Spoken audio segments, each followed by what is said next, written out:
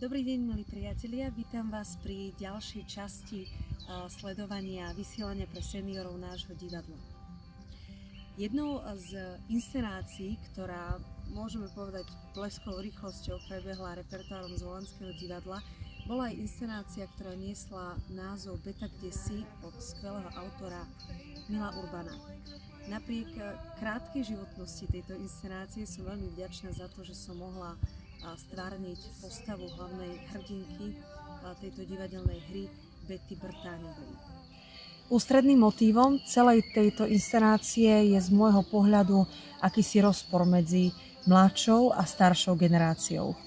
Okrem iného, autor Milo Urbán chcel poukázať aj na to, aké fatálne dôsledky môžu mať predsudky či závisť kolektívu voči jedincovi. Beta sa vracia domov, trošku neštandardným spôsobom, ale za to čestne.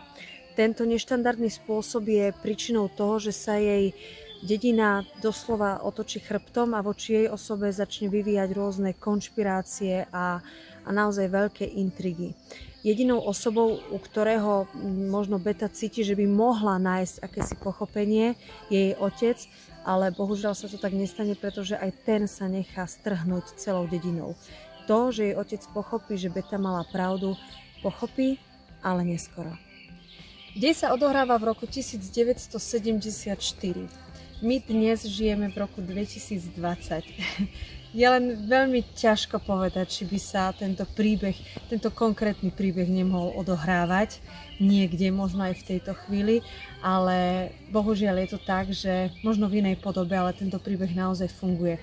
Ten rozpor medzi mladšou a staršou generáciou je. Napriek tomu si myslím, že by to tak nemuselo byť. Mali by sme nachádzať také rozhovory a také spôsoby, aby sme našli veškerú cestu byť spolu, spolu to zvládnuť a aby sme si navzájom boli akýmsi obohatením. Mladší pre starších a starší pre, mladších.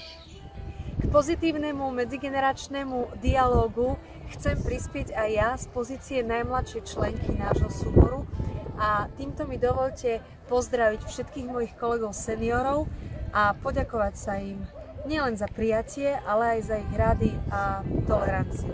Samozrejme pozdravujem aj ostatných kolegov seniorov v iných divadlách a ja naozaj verím, že spolu to zvládneme nielen v týchto časoch, ale aj do budúcna. Majte sa pekne.